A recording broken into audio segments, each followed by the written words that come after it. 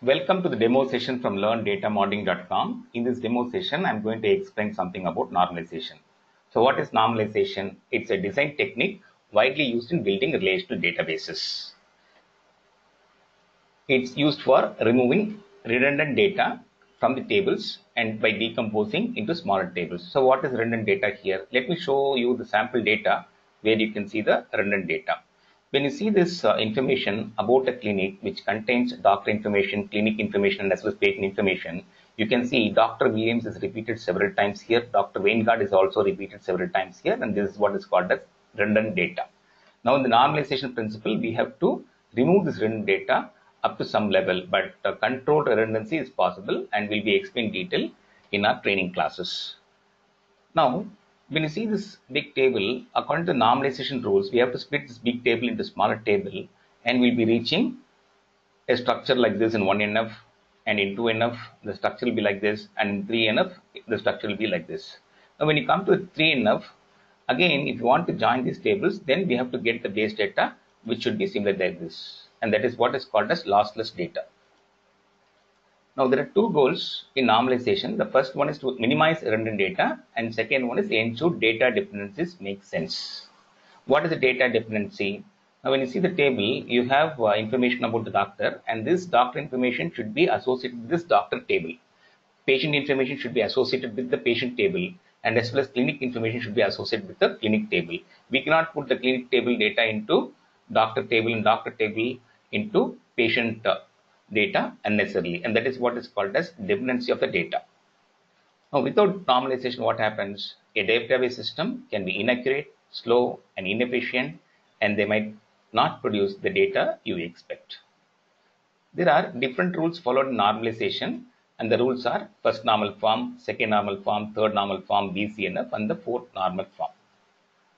Now these are all rules and it is followed in sequential order. For example, if the data is in second normal form, it has to be in the first normal form.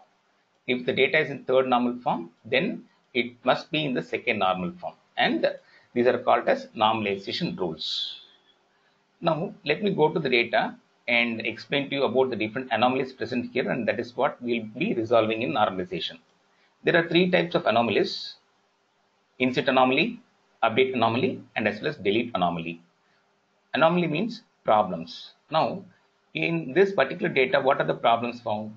The first one is the insert anomaly. Now I want to insert a record for a new doctor called Kevin who doesn't have any patient. In that situation, I'll be entering only Dr. Kevin's name here and the related information about the patient, patient address will be left null. Null means I will not be filling any details in these columns. So that is a violation of the RDBMS concept. That is what is called as insert anomaly. Now, update anomaly. What is update anomaly? If you see this medical one, it is located in 45 Beverly Hills, San Jose. And you can see the same data is repeated for this Dr. Williams several times. Now, assume that this medical one has moved to a different location, say New Jersey. In that situation, what will happen? We have to update this record for all of these three records. Now, in this example, we do have only 12 records and it is easy to update the records. But the real time, if you have millions of records, then what will happen? It will take longer time and you will not be able to pull the data also quickly. And that is what is called as update anomaly. Then the third step is delete anomaly. What is delete anomaly? Now, assume that this Dr. Weingard left Ohio Clinic Hospital and he has joined in some other clinic. In that situation, we have to remove this Dr. Weingard from this clinic RDBMS database. If we remove this Dr. Weingard, the associated information about the patient and as well as the clinic is also lost and this is what is called as delete anomaly. Now, in normalization, we have to carefully analyze these problems and finally we have to come up with some conclusion and that is what you see here in this data. This is the source data we received and from there we designed 1NF. We split up into smaller tables and in 2NF again we design some tables and 3NF again we design some tables. Now in this situation if you're going to delete doctor table this table will be lost if you're going to delete records from this patient table, patient information will be lost, medicine administered, what are the medicines provided, that information will be lost. Same thing with doctor also. And that is how you do normalization. Now in our uh, data model training class or in the data model videos, we have a number of examples like order.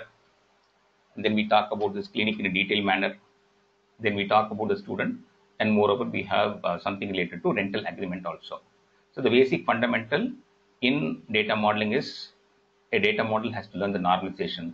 And if you want to more, if you want to know more, please reach us at training at learndatamodeling.com. Thanks for now. Bye.